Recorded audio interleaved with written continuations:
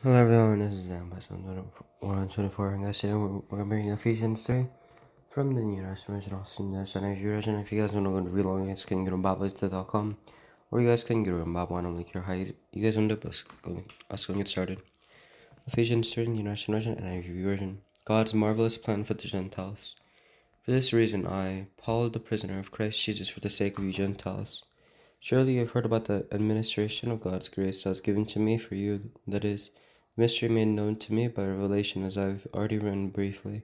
In reading this, then, you will be able to understand my insight into the mystery of Christ, which was not made known to people in other generations. It has now been revealed by the Spirit to God's holy apostles and prophets.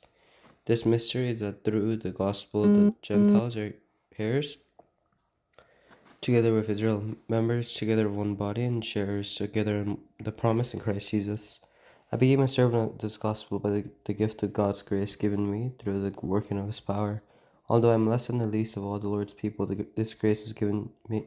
This grace is given me to preach to the Gentiles the boundless riches of Christ, and to make plain to everyone the, the administration of this mystery, which for ages past was kept hidden in God, who created all things.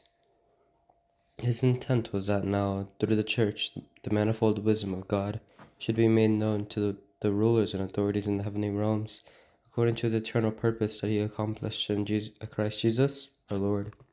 In him and through faith in him, in him and through faith in him, we may approach God with freedom and confidence. I ask you therefore not to be discouraged because of my sufferings for you, which are your glory. A prayer for the Ephesians. For this reason I kneel before the Father, from whom every family in heaven and on earth derives of its name, derives its name. I pray that out of his out of his glorious riches he may strengthen you with power, is spirit in your inner being, so that Christ may dwell in your hearts through faith. And I pray that you, being rooted and established in love, may have power, together with all the Lord's holy people, to grasp how wide and long and high and deep is the love of Christ, and to know this love that surpasses knowledge, that you may be filled to the measure of all the fullness of God. That to him who is able to do immeasurable, immeasurably more than all we ask or imagine according to his power that is at work within us. To him be glory in the church and in Christ Jesus throughout all generations, forever and ever. Amen. Okay, guys, okay, guys we hope you guys enjoyed. I'll see you next time. Bye.